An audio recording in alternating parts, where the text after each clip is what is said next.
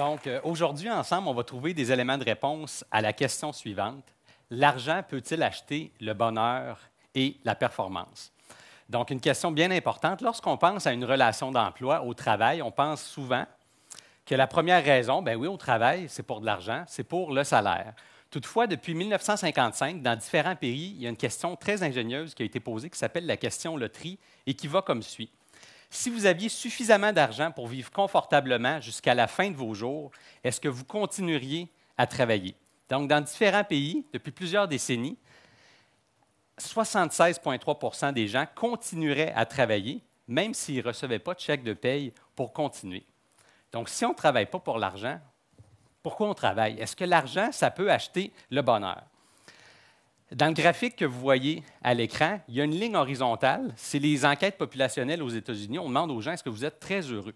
On voit que le pourcentage de gens qui sont très heureux depuis 1945 a relativement peu changé.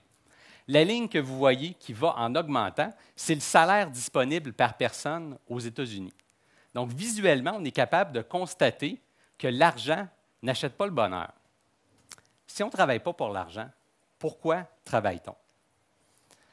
Plus de 40 ans de recherche sur la théorie de l'autodétermination nous apprennent qu'il y a quatre grandes catégories de raisons pour lesquelles on travaille ou qu'on fait n'importe quelle activité dans la vie. Mais je vais me concentrer sur le milieu du travail. Le premier type de motivation, c'est la motivation plaisir, ce qu'on va appeler la motivation intrinsèque. C'est lorsqu'on fait quelque chose parce que ça nous intéresse, parce qu'on a une satisfaction inhérente à le faire. Imaginez-vous un ingénieur qui aime travailler, faire des dessins 3D sur ordinateur, puis passer des heures à le faire et il ne verra pas le temps passer. C'est le premier type de motivation. Mais ce n'est pas vrai qu'au travail, toutes les tâches sont agréables et intéressantes. Il y a certaines tâches qu'on doit faire qui sont inintéressantes, mais on les fait parce que c'est important pour soi. C'est le deuxième type de motivation. C'est lorsqu'on a une vocation. Imaginez-vous une infirmière qui doit donner un bain à une personne âgée. Ce n'est pas une tâche intéressante, mais si elle valorise et elle trouve important le bien-être du patient, elle va y mettre les efforts. Un troisième type de motivation, c'est l'orgueil, la vanité ou encore l'estime de soi lorsqu'on veut euh, développer son estime de soi ou encore la protéger. Par exemple, un vendeur qui veut toujours gagner le, concours de vente à chaque mois, il veut se prouver à lui-même puis se prouver aux autres. Ça peut être un autre type de motivation. Et finalement, le quatrième type de motivation, ça peut être l'argent, tout ce qui est extérieur à soi. Tout le monde a en soi ces quatre types de motivation-là, mais c'est l'importance relative d'un type par rapport à d'autres qui va expliquer les conséquences. Plus vos motivations se situent à droite, plus vous faites des choses dans la vie par intérêt ou parce que c'est important pour vous, plus vous allez vivre de performances, de bien-être et de conséquences positives. Plus vos motivations se situent à gauche, plus les conséquences seront négatives ou mitigées. Ceci dit, comment on peut faire pour augmenter les motivations à droite? Et diminuer celle à gauche. La réponse réside dans la satisfaction de trois besoins psychologiques qui sont innés et universels chez tous les êtres humains. Ce sont les besoins d'autonomie, de compétence et d'affiliation sociale. Le besoin d'autonomie, c'est le besoin de se sentir soi-même authentique, d'agir en conformité avec ses valeurs, puis être capable de faire des libres choix. Le besoin de compétence, c'est de se sentir efficace, efficient. Si on a des défis, des obstacles, il faut être capable de les surmonter. Finalement, l'être humain n'aime pas être seul. On a le besoin d'être en interaction sociale. Le besoin d'affiliation sociale, c'est d'avoir des relations interpersonnelles mutuellement satisfaisantes. Donc, plus les besoins sont satisfaits, plus ça augmente les raisons plaisir et vocation. Lorsque ces besoins-là sont frustrés, les motivations se dirigent vers la gauche. Lorsque le cerveau n'a pas les bonnes vitamines pour bien fonctionner, il se rabat sur des raisons qui sont moins efficaces, entre autres l'argent et l'orgueil. Mais si l'argent, ça ne motive pas, à quoi ça peut bien servir? Dans le, premier, sondage représentatif de 90% de la planète Terre, le Gallup World Poll, des chercheurs américains nous montrent qu'il y a un, un, lien clair et indubitable entre le fait de faire de l'argent et avoir des conditions de vie confortables. L'argent, ça permet d'écarter les irritants de la vie du chemin. Lorsqu'on a de l'argent, on peut se loger, se nourrir, se vêtir. Donc oui, l'argent est relié au confort. Mais indépendamment que vous soyez riche ou pauvre, ce qui va vraiment expliquer votre bien-être, votre performance, ça va être le fait d'avoir les besoins d'autonomie, de compétences et d'affiliation sociale très satisfaits. Toutefois, dans nos organisations, on va s'entêter à utiliser l'argent comme motivateur. Je vous donne deux exemples dans des domaines totalement différents, dans des équipes professionnelles de baseball aux États-Unis et dans des organisations. La logique en milieu de travail, c'est on va prendre nos gens qui sont les plus performants, on veut les conserver, puis on veut qu'ils soient motivés, on va leur donner plus d'argent. Donc, on donne plus d'argent à un groupe restreint d'individus et ensuite on diminue le salaire jusqu'au bas de l'échelle. En voulant acheter la performance et la rétention, je vous montre le graphique, on produit exactement l'inverse. Plus il va y avoir d'inégalités à l'intérieur d'un système, que ce soit une organisation ou une équipe, que vous soyez une très bonne équipe ou une moins bonne équipe, plus il y a de disparités salariales, moins vous avez de performance. Donc, est-ce qu'on peut acheter la performance? Il ne semble pas qu'on puisse l'acheter, en tout cas, avec de l'argent. Dans nos propres enquêtes, on a testé l'effet des récompenses monétaires, les bonnies, sur différentes variables. Ce qu'on s'est rendu compte, c'est que la présence de bonnies a un effet très fort sur les efforts. Donc, lorsqu'il y a une carotte assez grosse, le cheval va courir très vite, les gens vont mettre beaucoup d'efforts, mais il y a un coût psychologique très important. Ça va augmenter l'épuisement, ça va diminuer la performance et augmenter les comportements contre-productifs. Je répète, en voulant acheter la performance, on la diminue. Pourquoi? Parce que ce type de motivation-là est de moins bonne qualité, puis aussi on va restreindre l'attention des gens sur un éventail très restreint de, comportements. Ils vont les faire, puis parfois ils vont même essayer de contourner les règles pour atteindre la récompense. Donc les bonus, ça ne semble pas fonctionner autant que ce qu'on pourrait croire.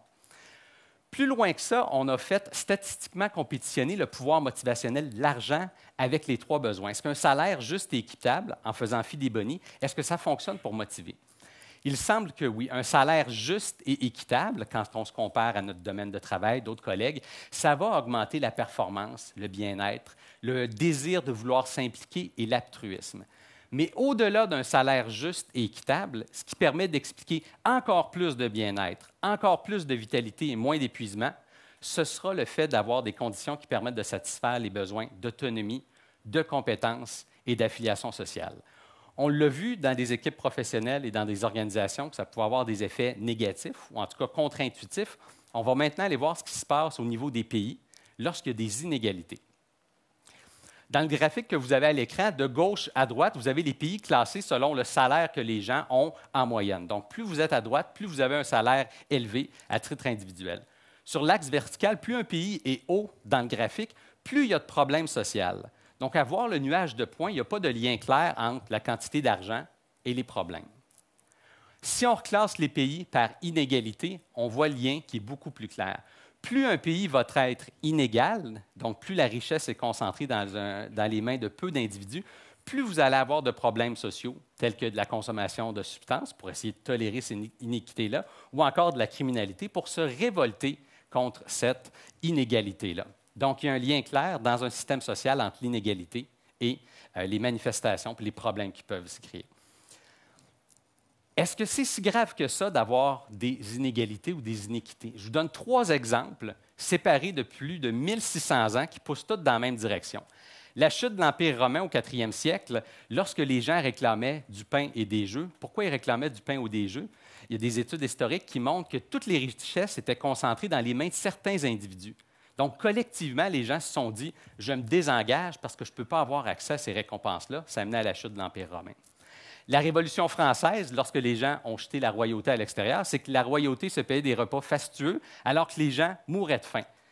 Puis plus près de nous, en 2008, la crise financière, euh, il y a eu tout le mouvement Occupy Wall Street. Nous sommes le 99% Donc, on voit différents exemples qui montrent que l'être humain n'est pas capable de tolérer les iniquités on veut vivre dans un monde qui est équitable. Mais est-ce que ça veut dire qu'on veut être égalitaire? Ce n'est pas nécessairement la même chose, inégalité et iniquité. Aux États-Unis, lorsqu'on regarde la distribution des richesses, les 20% les plus riches ont 85% des richesses, alors que les 40% les plus pauvres ont virtuellement rien, une fraction de 1% donc on met 0% Toutefois, lorsqu'on demande aux gens combien devraient avoir ces individus-là, on est capable de voir que l'être humain peut tolérer des inégalités si elles sont justifiées. Les 20% les plus riches devraient avoir 32% des richesses et les 40% les plus pauvres devraient avoir 25% des richesses. Donc l'être humain est capable de tolérer certaines inégalités s'ils sont justifiées, mais il n'est pas capable de tolérer des iniquités. Qu'est-ce qu'on peut faire pour l'avenir? Je vous donne trois exemples de pays différents. En France, le président François Hollande, lorsqu'il a été élu, il s'est voté à lui-même ainsi qu'à tous ses ministres une baisse de salaire de 30% Qui plus est, dans toutes les sociétés d'État françaises du gouvernement, ils, tentent d'instaurer la règle du 20 fois. C'est quoi? Vous prenez le salaire le plus faible dans une organisation, vous le multipliez par 20 et c'est la possibilité du salaire le plus élevé. On doit restreindre les écarts. Donc, on envoie un message clair pour restreindre les écarts. En Belgique, récemment, tous les salaires des PDG des sociétés d'État ont été limités à celui du premier ministre, donc 290 000 euros par année. Encore là, ce que ça envoie comme message, si on veut restreindre les écarts. Finalement, les exemples d'un troisième pays, la Norvège, où les taux d'imposition dépassent souvent 50% et où les taxes sur l'achat d'une voiture peuvent aller jusqu'à 100% Vous avez un site Web où tout le monde, tous les contribuables dans le pays sont listés avec leur salaire et les impôts qu'ils ont payés. Donc, c'est un fantastique outil de transparence qui permet de diminuer les inégalités. Donc, pour la suite des choses, qu'est-ce qu'on doit faire? Comment euh, instaurer bonheur et performance, que ce soit à titre individuel, dans une organisation ou dans nos sociétés? C'est un incontournable. On doit traiter de l'argent parce que c'est un bon moyen d'échange. Ça remplace le troc, c'est efficace. Mais une fois qu'on en a suffisamment, il faut tout faire en sorte pour écarter l'argent du champ de préoccupation. On l'a vu, ce n'est pas une motivation de qualité et qui est efficace. Une fois qu'on a mis à l'écart le facteur argent, on doit se concentrer sur les facteurs qui expliquent vraiment la performance et le bien-être chez l'être humain, soit la satisfaction des besoins psychologiques, d'autonomie, de compétences et d'affiliation sociale. Si on est capable de faire ça à titre personnel, si on est capable de faire ça dans nos organisations et même dans nos pays, c'est là que l'être humain va véritablement pouvoir s'épanouir. Merci beaucoup.